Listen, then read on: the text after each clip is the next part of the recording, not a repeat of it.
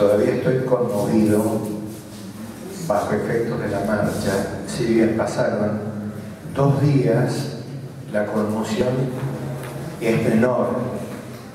Entonces, esto me dificultó para tener una reflexión coherente sobre lo que les quería transmitir. Entonces, mi reflexión va a ser incoherente, en el sentido voy a tomar puntos que no tienen vinculación entre sí posiblemente. Y en mi descargo, el descargo a mi vanidad que pretendía la coherencia, quiero traer una frase de Jorge Alemán en un escrito de Juventud, concierto para la máscara, que habló de la este, incoherencia razonante.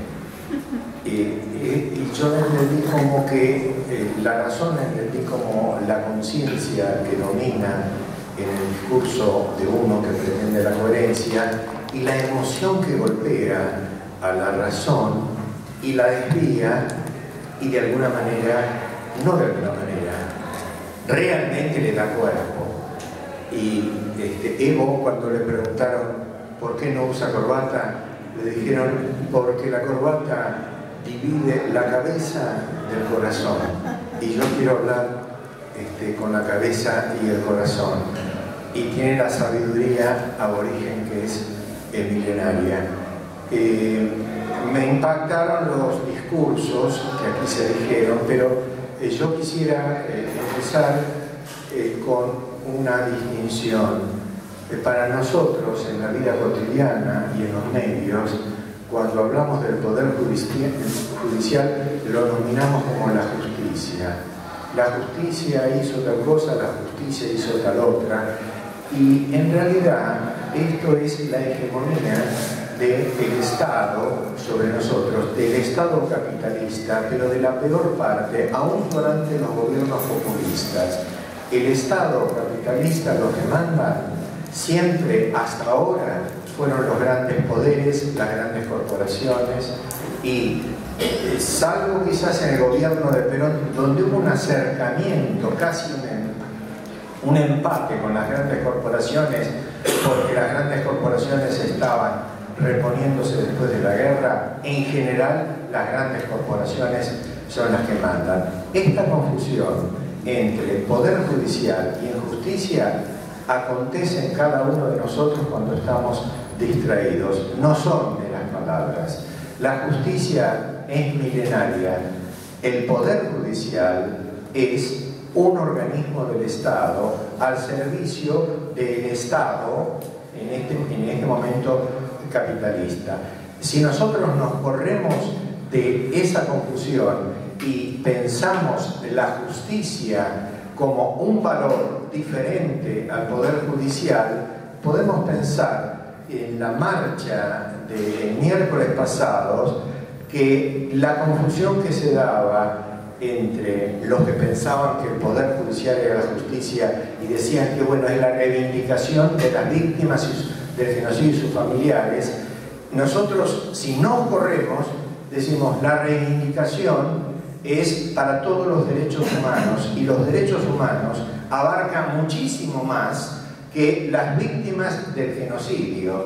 Abarca, por ejemplo, este, nosotros pedimos la liberación de Milagro Sala, pero ahí todavía estamos restringidos al concepto de justicia como poder judicial. Es no solo la liberación, es la reparación de todos los daños que se han producido a la gente y a la ciudad que creó Milagro Sala. Eso hay que reconstituirlo a expensas de aquellos que la fueron destruyendo. Y no estoy hablando del gobernador Morales, estoy hablando del sector de la grieta Macri. Entonces, si nos corremos de ese sentido de la palabra, vemos que la lucha por la justicia tiene una historia milenaria. Von que es un filósofo del derecho, habló de la lucha del derecho. En realidad correspondería a una rectificación. El derecho es la expresión de un concepto de justicia. que es un concepto de justicia que no se identifica con el Poder Judicial y se expresa en un país como el derecho. Si seguimos, digamos, si ampliamos este concepto de justicia, también eh, podemos pensar que en todos los medios de comunicación, incluso en los de la orientación nacional, la gran marcha fue Buenos Aires. Si ampliamos el concepto, tenemos que decir que Buenos Aires tiene que dejar de ser el ombligo de la República y todas las provincias tienen que ser la cabeza de una sola patria, es decir, que el federalismo se pueda materializar. No está materializado el federalismo, triunfó el unitarismo, triunfó el sistema que, digamos, pretendía Alberti este, de que este, el presidente en realidad fuera un rey con un plazo de término fijo. Y otro tema más, y con esto quiero terminar con mis incoherencias, es el concepto de genocidio.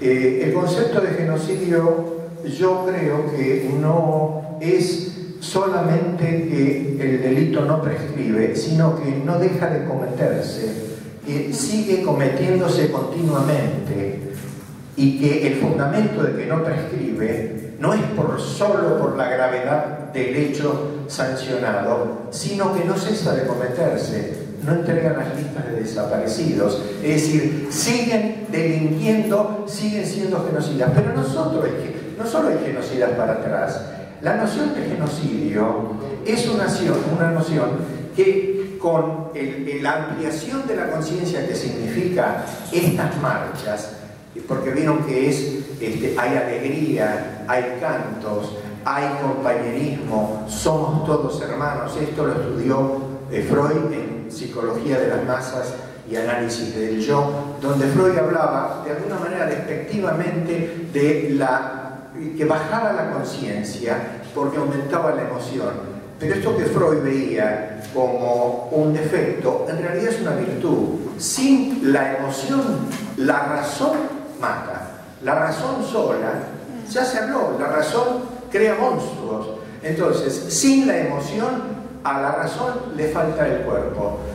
Entonces, quería eh, comentar, seguir comentando el tema de los genocidios. El concepto de genocidio no es solo para atrás, es para adelante. Hoy hay genocidas. Cuando decimos este, la, tiranía eh, cívico-militar, ya se le agrega clerical, que estoy de acuerdo, los cívicos eh, que fueron parte de la tiranía y que se los pone en primer término, no se están gobernando. Macri es un genocida. No solo Mañeto es un genocida, Macri y su banda son genocidas y siguen matando porque es tan genocida el que clava el cuchillo, el que viola, como aquel que hambrea al pueblo y lo hace morir de muerte que no que se podrían evitar si hubiera una distribución más equitativa de los recursos. Hoy hay muerte por hambre. Hoy hay chicos que no van a poder desarrollar su intelecto por falta de nutrición. Hoy hay chicos donde, que van a crecer menos que otros chicos. Hoy hay chicos que no van a poder ser escolarizados porque tendrán que ir a revisar en la basura. Este concepto de genocidio es como lo que pasó con la violencia de género. Al principio, la violencia de género, que a mí me pasó como abogado de familia que ejerzo hace este, 50 años de eso, que al principio era la violencia física, después empezó a ser la violencia moral, después empezó a ser la violencia económica, y la violencia sexual. Hace 40 eh, años, por ejemplo, si un marido le exigía el débito conyugal a la mujer, le exigía, la mujer tenía que someterse al deseo del varón. Hoy es violación.